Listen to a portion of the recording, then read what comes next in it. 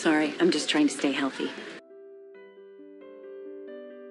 Sorry, I'm just trying to stay healthy. Thank you. Trying to keep healthy. Thank you. Trying to keep healthy. Sorry, I'm just trying to stay healthy. Thank you. Trying to keep healthy. Hi, everyone out there. 안녕하세요. 조앤쌤입니다. 영어 명언을 통해 마음 다지기, 영어 다지기 벌써 아홉 번째 시간입니다. 오늘의 주제는 바로 health, 건강에 관한 영어 명언. Boost up your English. Boost up your mentality. 시작해 볼까요? Let's get started.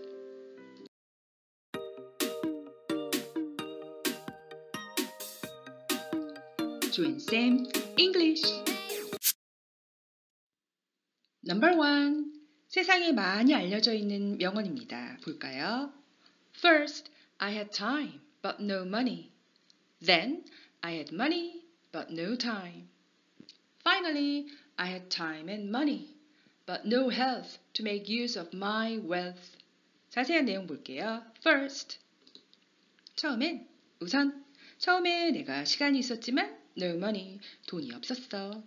Then, 그리고 나서, 그리고는 돈이 있었지만 but no time, 시간이 없었네. then의 부사는 상황에 따라 문맥에 따라 뜻이 여러 개죠. 그때라고 해석이 될 때도 있고 그러면이라고 해석이 될 때도 있고 여기서는 문맥상 그리고는 finally 마침내 드디어 둘 다 있네요. I had time and money 둘 다 있었지만 no health 건강이 없었어. 빨간색 수거 볼게요. 뭐뭐를 이용하다, 사용하다. make use of. 동사 그냥 한 단어로 use를 쓰셔도 됩니다. 무엇을 사용할 건강이 없었냐면 my wealth, 재산, 부. 전체적인 한국어 뜻 볼게요. 처음엔 시간이 있었지만 돈이 없었다. 그리고는 돈은 있지만 시간이 없었다. 마침내 시간과 돈 둘 다 있었지만 나의 재산을 쓸 건강이 없었다. 영어 잘하고 싶으면 입이 부지런해서 많이 많이 읽어보셔야 됩니다. 잠깐 포즈에서 따라 읽어주세요. First, I had time but no money. Then, I had money but no time.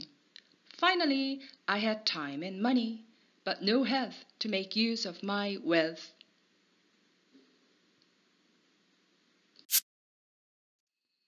두 번째, Oftentimes, we aren't thankful for something until it's gone. Don't take your health for granted. 뜻 볼게요. Oftentimes, 종종, 자주.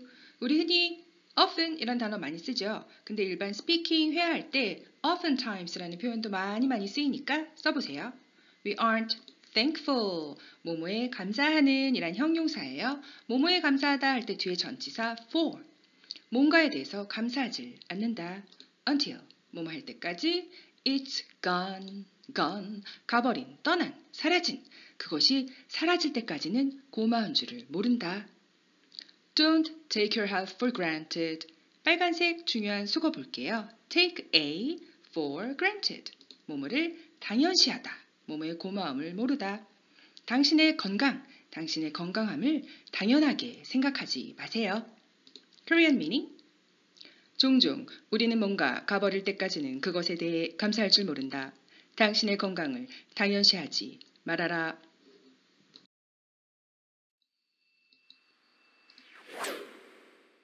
Please repeat. Oftentimes, we aren't thankful for something until it's gone. Don't take your health for granted. 오늘의 세 번째 마지막 명언입니다. The food you eat can be either the safest and most powerful form of medicine or the slowest form of poison. 음식은 이라고 하려고 보니 주어가 아직 안 끝났죠? You eat 이 뒤에서 꾸며줍니다. That you eat 당신이 먹는 음식은 까지가 주어고요. Can be 뭐뭐가 될 수 있다. 뭐가 될 수 있는지 볼까요? 빨간색 부분 중요한 수거가 났네요. Either A or B. 뜻은 A, B 둘 중에 하나 A 또는 B, A 또는 B가 될 수가 있다. A 부분은 the safest, 최상급이네요. 가장 안전하고 most powerful, 가장 강력한 form, 형태의 medicine, 약이 될 수도 있고 or the slowest, 가장 느린 형태의 poison, 독이 될 수도 있다. 음식이 약이 될 수도 있고 독이 될 수도 있다. Fast food 뭐 이런 거 많이 먹지 말고 건강에 좋은 음식 잘 챙겨 먹으라는 의미죠. 좀 찔리네요. 당신이 먹는 음식은 가장 안전하고 강력한 형태의 약이 될 수도 있고 또는 가장 느린 형태의 독이 될 수도 있다. 서서히 죽여가는 건가요? The food you eat can be either the safest and most powerful form of medicine or the slowest form of poison.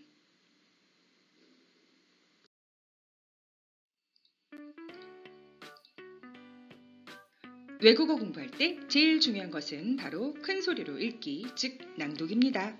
입에서 익숙해지도록 소리내어 읽어보는 것 잊지 마세요. 다시 한번 의미를 생각하며 소리내어 읽으며 자신의 육체 건강, 정신 건강을 위해 노력하는 삶. 시작! Time to wrap up. First, I had time but no money. Then, I had money but no time. Finally, I had time and money, but no health to make use of my wealth. 처음엔 시간이 있고 돈이 없었다. 그리고는 돈은 있는데 시간이 없었다. 마침내 시간과 돈 둘 다 있었지만 나의 재산을 사용할 건강이 없었다. Oftentimes, we aren't thankful for something until it's gone. Don't take your health for granted. 종종 우리는 뭔가 가버릴 때까지는 그것에 대해 감사할 줄 모른다. 당신의 건강을 당연시하지 말아라. The food you eat can be either the safest and most powerful form of medicine or the slowest form of poison. 당신이 먹는 음식은 가장 안전하고 강력한 형태의 약이 될 수도 있고 또는 가장 느린 형태의 독이 될 수도 있다. 지금까지 건강에 관한 명언 세 가지였습니다. 하나뿐인 내 소중한 몸, 그 중요함을 다시 한번 느낄 수 있는 명언 하나 더 읽고 마칠게요. Take care of your body. It's the only place you have to live in. Stay healthy and safe, everyone. Bye. Hey, is that healthy food? Hey, is that healthy food? Hey, is that healthy food?